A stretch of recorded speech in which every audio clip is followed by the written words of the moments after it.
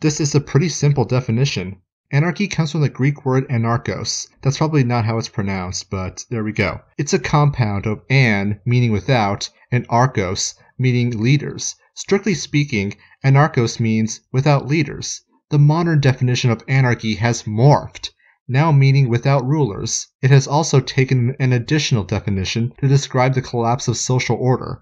For example, Ferguson, Missouri on August 9, 2014, following the death of Michael Brown. The riots that followed could be described as anarchy. Both definitions are valid. However, its advocates make a distinction between the two that I will cover later. What is important is the understanding that a state of anarchy means the absence of coercive authority. The earliest modern conception of anarchy as a method of organizing society, or anarchism, comes from Immanuel Kant's Anthropology from a Pragmatic Point of View, written in 1798. He identifies three factors in a society freedom, that is to say, the ability to act unrestricted, law, the rules by which freedom is limited, and force, the right to initiate violence.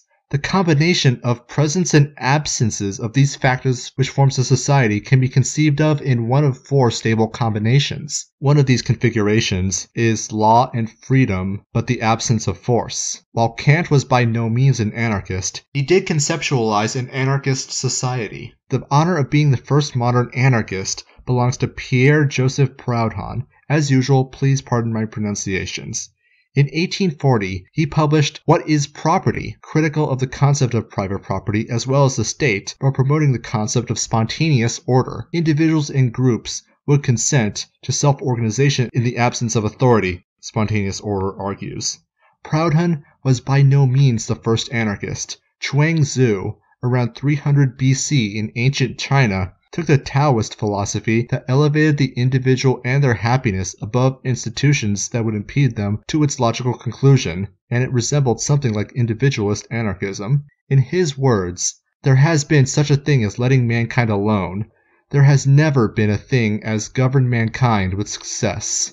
He has also come up with the concept of spontaneous order. Good order results spontaneously from when things are left alone, and stated the following about rulers A petty thief is put in jail, a great brigand becomes a ruler of a state. It's unclear if Proudhon and, and other modern anarchists took their cues from Chuang Tzu's 2,000 year old ideas, but we can assume that they arrived at similar conclusions about the state independently. Since then, anarchism has taken and expanded upon numerous theories as to how a stateless anarchist society might form or how it would be structured.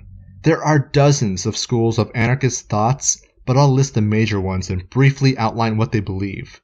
I might give them their own defining terms video at some point in the future, but please note that there is overlap in many anarchist schools, and many of these ideas are not mutually exclusive.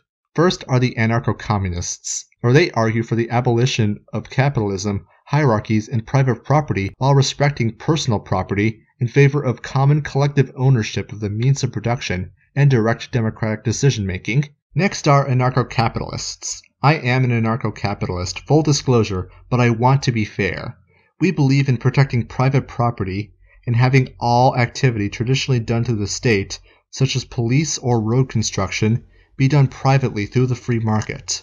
Then we have green anarchism. They argue for environmentally sustainable anarchist societies while suggesting that any critique of the relationship between humans and the state applies to relationships between humans and non humans as well. The issues are inseparable to them.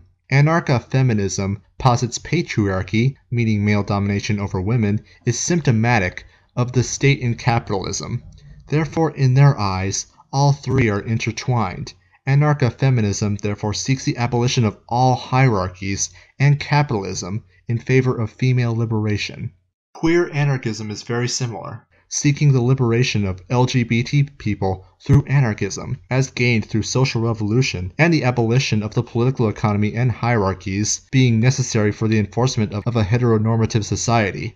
Anarcho pacifists seek the abolition of violence in all levels of society, arguing that pacifists must necessarily be anarchists because the state is inherently violent. There is much debate between schools of anarchist thought, schools often accusing each other of not being real anarchists. The argument being that if an opposing school of anarchist thought has their way, a state will necessarily form either as a means or as an end. Regardless, all of them argue for the abolition of the state, arguing it to be inherently immoral, and that society will be freer and more prosperous in the absence of coercive governing authority. No anarchist school believes society should be without rules, simply without rulers. In summary, anarchy. It means no rulers. Anarchism is the advocacy for the abolition of rulers.